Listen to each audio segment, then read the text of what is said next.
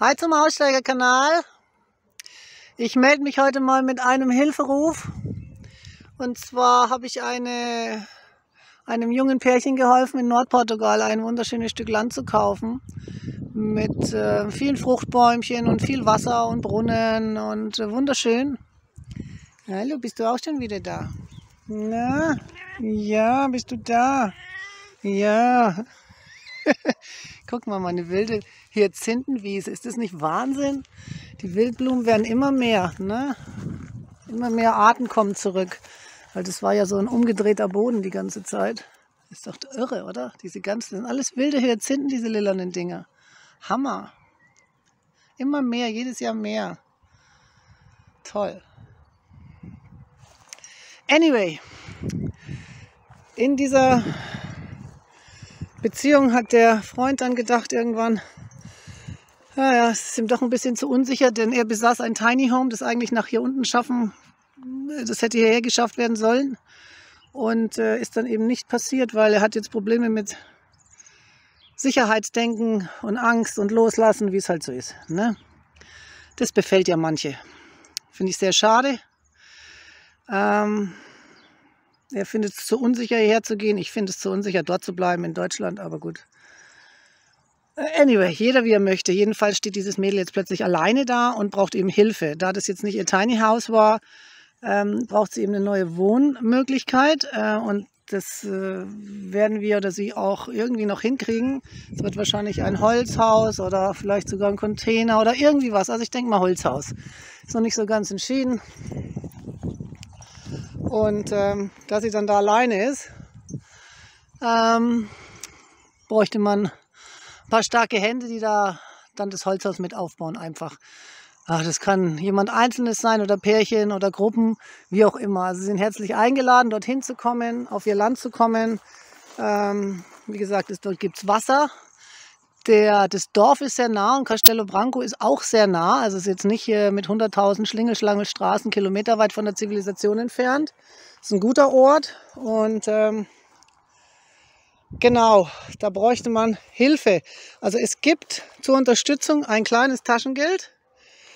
Ähm, genau, und ansonsten darf man halt umsonst bei ihr stehen einfach und ähm, dort das Leben genießen. Ne? Ähm, das wäre toll, äh, wenn sie jemand finden könnte, der ihr dabei einfach hilft. Ja, und was müsste man haben? Also man müsste natürlich selber eine Wohnmöglichkeit haben. Ähm, die ganze Hilfe ist eigentlich für jetzt für den Vorsommer gedacht. Also so vielleicht Ende April, Mai oder so. Ich weiß ja nicht, wie schnell ihr sein könnt oder sein wollt. Ähm, genau, also ihr braucht eine Wohnmöglichkeit, einen Bus, eine Wohnung, Campingwagen. Natürlich geht auch Zelt, aber ihr wisst ja, manchmal, wenn es viel regnet, Zelt kann schon mal weggeweht, weggeschwemmt werden. Ne? Ist ein bisschen grenzwertig, ein Zelt. Kann funktionieren, je nach Wetter und kann aber auch nicht funktionieren. Ne? Das heißt, vielleicht sind ja auch schon Leute dort im Norden und hören mich und suchen einen Stellplatz oder sind auf dem Camping von Castello Branco. Zum Beispiel, bitte meldet euch doch bei ihr. Ich werde euch in den Kommentaren die ähm, die E-Mail-Adresse von ihr hineinschreiben. Und ähm, es wäre toll, wenn ihr euch bei ihr melden könntet und ähm, mit ihr was abmachen könntet. Also im Moment befindet sie sich noch in Deutschland, aber die Reise wird bald losgehen. Ne? Also ich wäre grottenfroh, wenn dem Mädel geholfen werden könnte. Und wenn sich jemand melden könnte, es können sich natürlich auch mehrere Leute melden. Und ähm, wie gesagt, das Stehen ist umsonst, das Wasser ist umsonst. Man müsste halt vielleicht mit gemeinsamer, mit gemeinsamer, mit gemeinsamen Aufwand vielleicht ein kleines äh, Außenklo auch bauen, ne? Und vielleicht auch eine Außendusche oder irgendwie die nötigen Sachen, die man eben braucht zum Leben. Solche Sachen, ne? Das wäre toll, wenn sie Hilfe bekommen würde auf diesem Wege. Und ähm, wie gesagt, also sie wird euch auch äh, sicherlich den Standort des Landes dann schicken. Ich möchte hier eigentlich nicht mehr sagen, denn ähm, sie wird eure Fragen beantworten und äh, alles weitere mit euch klären. Ja, ich würde mich echt freuen, wenn sich jemand melden würde. Und wie gesagt, also wenn sich mehrere melden, macht es auch nichts. Jeder kann gern mit anpacken Und äh, wie gesagt, weitere Bedingungen macht er dann mit ihr aus. Ne? Aber ich glaube, sie wird sich wirklich über jede helfende Hand einfach freuen. Ne? Weil ich weiß, wie das ist, als ich hier allein angefangen habe.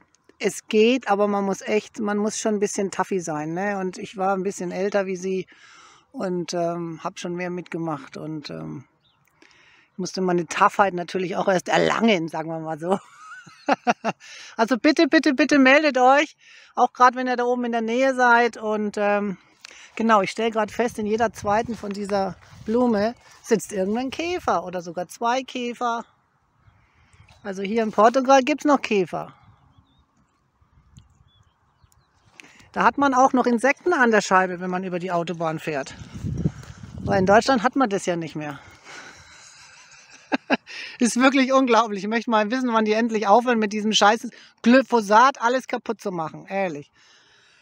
Oh Gott, ey. Na gut, jedenfalls ähm, schicke ich euch viele Grüße aus dem Paradies und ähm, würde mich freuen, wenn sich jemand bei ihr melden würde. Also, tschüss, bis zum nächsten Mal.